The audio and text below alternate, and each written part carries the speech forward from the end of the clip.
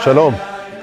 אחת מן החוויות הזכורות לי ביותר מן התפילה של ימים נוראים בישיבה, היא כאשר אנחנו מסיימים את שחרית ואת מוסף ואת חזרת השץ, ומגיעים כבר לסוף חזרת השץ של מוסף.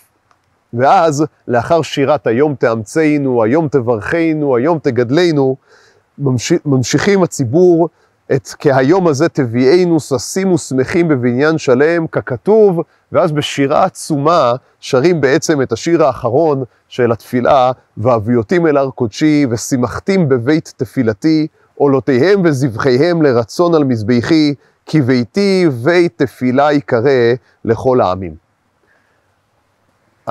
השירה הזאת בישיבה מתייחדת מלבד בעוצמה העצומה שבה כולם שרים את השיר הזה, בכך שאנחנו שרים את השירה הזאת, את הפסוק הזה, לא רק במנגינה אחת, אלא בשתי מנגינות.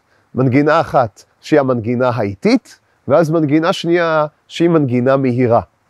והתופעה הזו שבה שרים פעמיים, פעם אחת בצורה מהירה, פעם אחת בצורה איטית, גרמה לי אה, לנסות ולחשוב, האם גם בפסוקים האלו יש איזה משהו שהוא באמת יכול להוביל לשתי פנים? כי בצורה הפשוטה, המנגינה המהירה, השמחה, הקצבית, היא המתאימה. אנחנו נמצאים בסוף התפילה, נמצאים כבר בהתרוממות הרוח הגדולה, ביקשנו מהקדוש ברוך הוא שהיום יאמצנו, והיום יבקשנו, והיום יברכנו, יגדלנו, ידרשנו לטובה, ישמע שוועתנו. אז בוודאי שכאשר אנחנו מבקשים שיביא אותנו, והביאותים אל הר קודשי ואל בית תפילתי, ודאי שאנחנו מלאים ברגשות שמחה והודאה וביטחון בגאולה במהרה בימינו.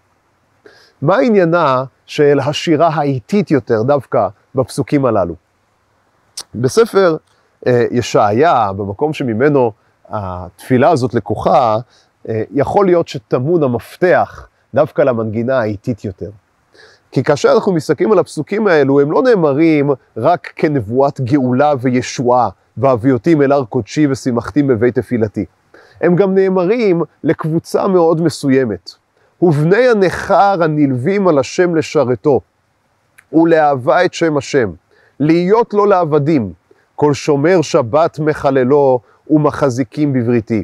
ואם נרצה, אולי הפסוק הזה גם מתייחס לאלו אשר מוזכרים לפני כן, כי כה אמר השם, לסריסים אשר ישמרו את שבתותיי, ובחרו באשר חפצתי, ומחזיקים בבריתי. לכל אלו אומר הקדוש ברוך הוא, והביאותים אל הר קודשי ושימחתים בבית תפילתי.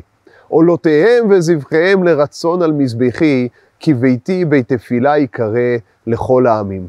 כלומר, הפסוק הזה לא נאמר רק כישועת, נבואת ישועה ונחמה לכלל עם ישראל, אלא הוא נאמר לכל אותם אלו שאולי הם מרגישים שהחיים לא חייכו אליהם, שהקדוש ברוך הוא הוביל אותם למציאויות שהיה בלתי אפשרי לעבוד אותו מהם בצורה שלמה, תמימה ואמיתית, כמו שאולי הם היו רוצים.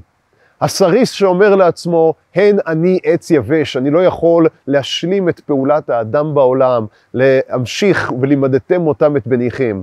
בן הנכר, שלא נולד לעם ישראל, לא נולד לעם היהודי, וגם הוא אולי, הוא מצד אחד אולי לא רוצה להתגייר, הוא נלווה אל השם לשרתו, והוא שואל את עצמו, האם גם אני יכול להתחבר אל האלוקות? האם גם אני יכול לממש את התפקיד האנושי כאן בעולם הזה?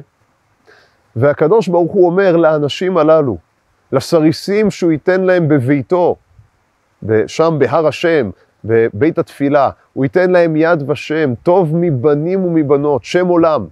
ולבני הנכר הנלווים אל השם לשרתו, שאולי הם חוששים, אבדל יבדילני השם מעל עמו. להם הקדוש ברוך הוא אומר את הפסוקים שקראנו, שאנחנו מתפללים אותם, והביאותים אל הר קודשי, ושימחתים בבית תפילתי, עולותיהם וזבחיהם לרצון על מזבחי, כי ביתי בית תפילה יקרא לכל העמים. ולכן, הנבואה הזאת היא נבואה לכלל העולם, והיא נבואה גם לעם ישראל, היא נבואה של גדלות, היא נבואה של שמחה, היא נבואה של ישועה, היא נבואה שמתאימה לה המנגינה המהירה והמרוממת. אבל היא גם נבואה שמגיעה לכל אותם אלו שמרגישים שהם נצרכים לנחמה. לכל אלו שמרגישים אולי שהשנה האחרונה היא שנה של תלאות, מרימים פניהם, ומי אנחנו, עם ישראל, אחרי השנה האחרונה, שאנחנו מרימים פנינו לקדוש ברוך הוא, ואומרים לו, פננה אל התלאות ועל החטאות. ואנחנו מבקשים מהקדוש ברוך הוא שיקיים את הדברים הללו, והביאותים אל הר קודשי, ושימחתים בבית תפילתי. אנחנו מבקשים מהקדוש ברוך הוא שייתן שלום בארץ, שייתן את האפשרות שיעבדו כולנו אותו שכם אחד, ואז התפילה הזאת תתקיים כמובן מתוך שמחה, כמובן מתוך צהלה, אבל גם מתוך התחושה הזאת של הנחמה על כל מה שסבלנו, על כל הצרות שעברנו, יתקיים בנו אפשרות לקבל את נחמתו של הקדוש ברוך הוא ולפנות לפניו כולנו יחד כאיש אחד בביתו, בית התפילה שיקרא לכל העמים. כתיבה וחתימה טובה.